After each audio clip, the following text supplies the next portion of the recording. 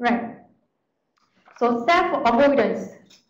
Move. So actually, I will skip this uh, lab, actually the following lab, but I want to just mention it briefly because we have other more important contents they need to cover, need to be covered. So self-avoidance, I mentioned, once an attacker compromises a machine, it does not want to, you know, keep reinfecting it because it may, you know, disturb its own operation.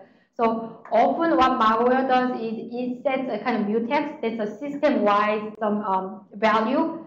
So and let's read it. So usually I, am not going to just uh, uh, do the high level, but usually mutex is you in the program-wise mutex is used for the like, synchronization. So if uh, piece of some application use the same resource is some kind of you know, flag saying, hey, I'm using it.